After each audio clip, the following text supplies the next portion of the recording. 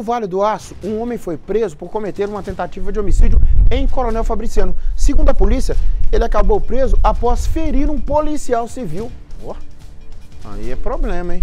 Gisele Ferreira tem detalhes aqui. Que confusão é essa, Gisele? O policial civil de 49 anos disse aos policiais militares que registraram a ocorrência que estava na sala de espera reservada para a Polícia Civil na UAI de Coronel Fabriciano. Quando este homem chegou repentinamente fazendo ameaças de morte contra o policial civil.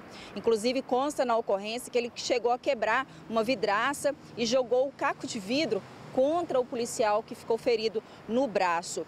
Com muita dificuldade, este homem acabou sendo contido pelos policiais militares que foram chamados pelos funcionários ali da UAI de Coronel Fabriciano.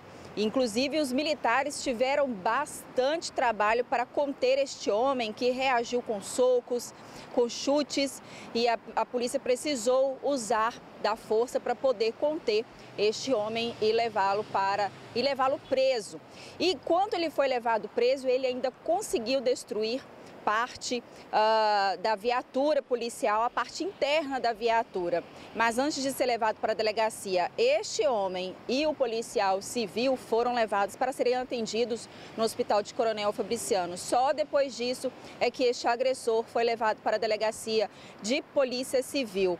E ali na delegacia ficou constatado que ele é um homem que mora em Itabira. Porém, ele não. Agora, sobre a motivação, o que teria acontecido, por que ele chegou furioso ali na unidade integrada da UAI de Coronel Fabriciano, ele não falou, Nico, ainda. É um mistério toda essa situação que aconteceu ontem. Eu volto com você.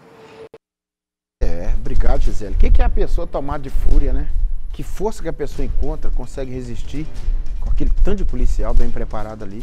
Nossa,